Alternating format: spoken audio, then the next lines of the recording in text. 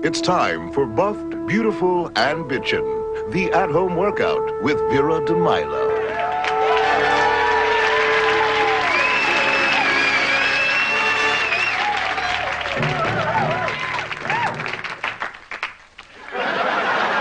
Hi, I'm Vera De Milo, and thanks for tuning in.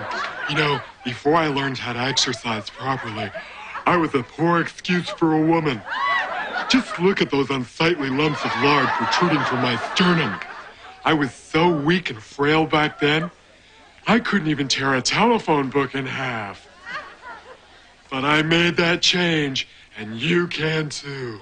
So let's get busy burning off those bothersome bazooms. Girls, are you ready? All righty. Let's start with a stretch. And down.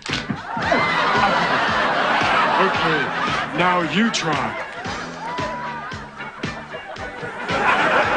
See how those big breasts just weigh them down? I'm telling you, you can't float till you get rid of those sinkers.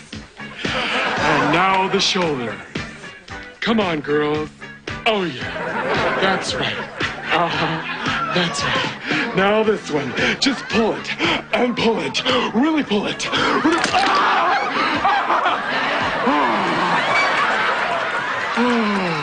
Wow. That's gonna be sore in the morning, but it hurts so good.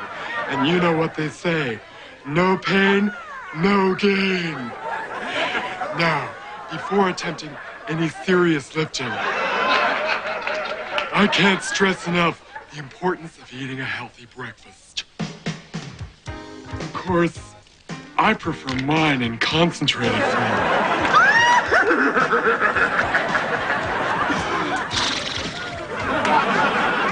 Another advantage of my at-home workout is that there's no need for investing in costly weight sets. With just a little imagination, a few hefty household appliances will do just as well.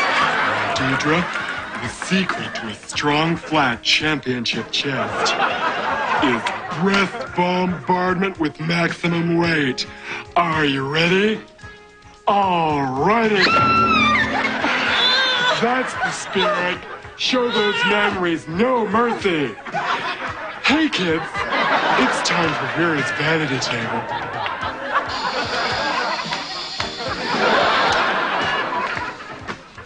You know, some women spend a lot of money on lipsticks and glosses to make their lips look fuller. I say you can get the same effect naturally with a nice hot curling iron. Watch.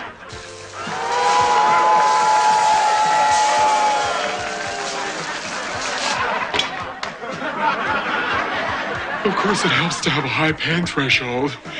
But believe me, when these babies start to blister, look out, Michelle Pfeiffer. Until next time, toodaloo.